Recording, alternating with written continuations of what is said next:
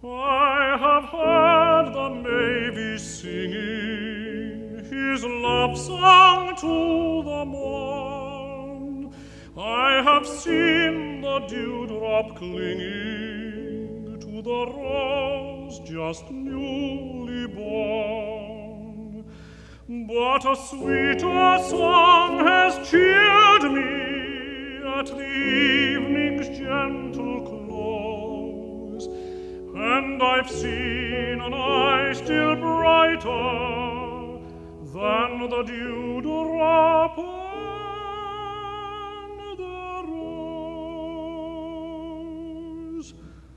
'Twas thy voice, my gentle Mary, and thine artless winning smile that made this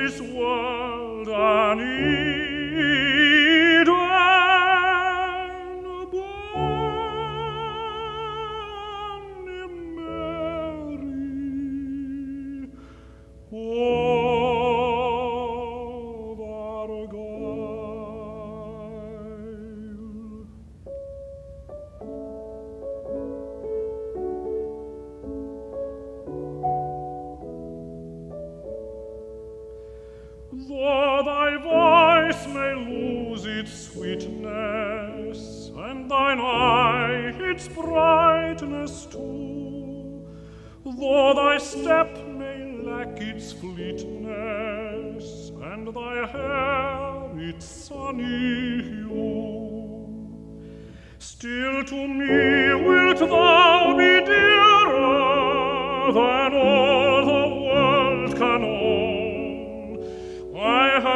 loved thee for thy beauty, but not for that alone.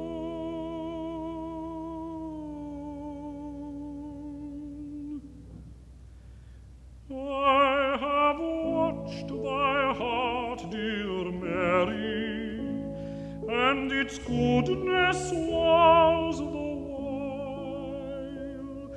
that has made thee mine forever.